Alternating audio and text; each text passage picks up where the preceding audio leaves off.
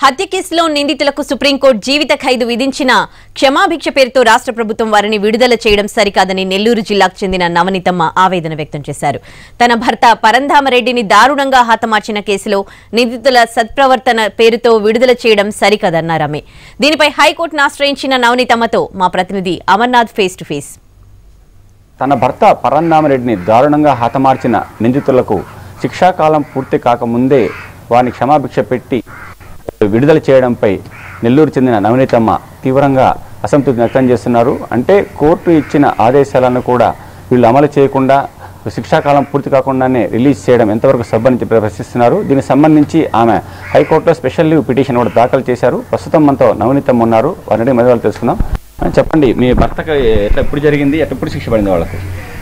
వాళ్ళకి శిక్ష అప్పుడు మనకు నెల్లూరు జిల్లా కోర్టులో కేసు మనకు ఫెయిల్ అయిపోయింది. తేనెల ఫాముతో సంవత్సరానికి కోటి సంపాదించాలనుకుంటున్నారా? సంవత్సరానికి తేనెల ఫామ్ పెట్టుకుని నాలుగు కోట్లు సంపాదించే వాళ్ళు మీకు నేర్పిస్తారు. ఇంకా ఎందుకు ఎదురు చూస్తున్నారు? ఫ్రీడమ్ యాప్ని వెంటనే డౌన్లోడ్ చేసుకోండి. అంటే దాన్ని చంద్రబంధన చేశారు ఇక్కడ. దాన్ని సత్తా లేని కేసు మాదిరి చేసి పెట్టారు ఇక్కడ. అంటే వాళ్ళు అప్పుడు వాళ్ళ అధికారం టీటీపీ వాళ్ళది. దానిలో వీళ్ళు ఎవరైనా పట్టుకుని వాళ్ళు దాన్ని సత్తా లేని కేసు మాదిరి చేసి పెట్టేశారు ఇక్కడ. తర్వాత మేము హైదరాబాద్ పోయినాము. హైదరాబాద్ పోయిన తర్వాత మా అక్కడ ఆయన్ని కలిసినాము పెద్ద ఆయన్ని. ఒకటి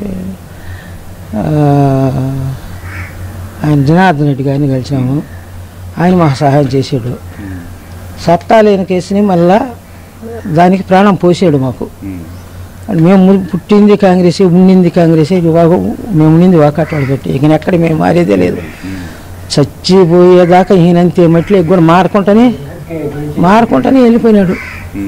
మా మట్లో మారుకుంటానే వెళ్ళిపోయినాడు వాళ్ళ తరఫునే అంతేగాని మేమేం మారింది లేదు మాట్లాడింది లేదు.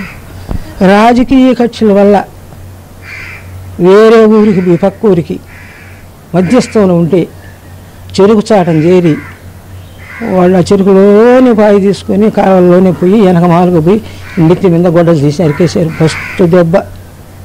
కావాలంటే ఫోటోలు ఉన్నాయి చూడండి.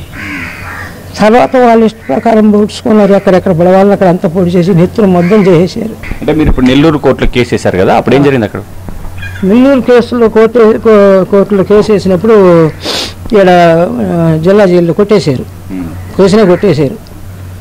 కొట్టేసిన తర్వాత మేము అప్పీల్ చేసుకొని మళ్ళా హైకోర్టుకు పోయినాం.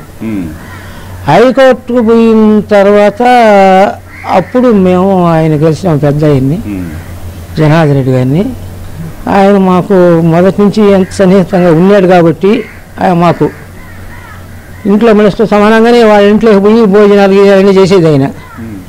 ఎక్కడి నుంచి ఏ రాత్రి టైంలో వచ్చినా పోయి వాళ్ళతో కూడా భోజనాలు చేసేది అంత సన్నిహితంగా ఉన్నాడు కాబట్టి మా అన్నదమ్ముడితో సమానం మా అన్నదమ్ముడే ఆయన. మాకు దీనిలో మాత్రం మీరు ఈ ఎంతవరకు సహాయం చేస్తే మాకు అంత కరెక్ట్ అవుతుంది అని చెప్పి అందరికి దండం పెట్టాడు ఆయన. పెద్ద పెద్ద ఆఫీసర్లకు కూడా ఢిల్లీలో కూడా. ఆయనకి అంత పెట్టాల్సిన అవసరం లేదు. కానీ మా మంచితనం బట్టి అట్లా ఆయన అందుకే అబ్బాయిని విలనిపిస్తానన్నది. హైకోర్టులో శిక్ష? కూడా ఫెయిల్ అయిపోయింది. మాకు పాస్ అయిపోయింది ఇది. మీకు? వాళ్ళ పడినాయి తర్వాత మేము మళ్ళీ సుప్రీంకోర్టుకు పోయినాం. ఉమ్. సుప్రీంకోర్టుకు పోయిన తర్వాత అక్కడ పద్నాలుగేళ్ళు శిక్షకారా చేశారు. తర్వాత యావజ్జీవ కారాగార శిక్ష చేశారు. అమర్ ఎన్టీవీ నెల్లూరు.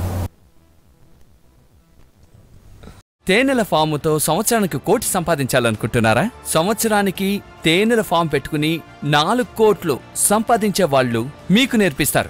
ఇంకా ఎందుకు ఎదురు చూస్తున్నారు ఫ్రీడమ్ యాప్ని వెంటనే డౌన్లోడ్ చేసుకోండి.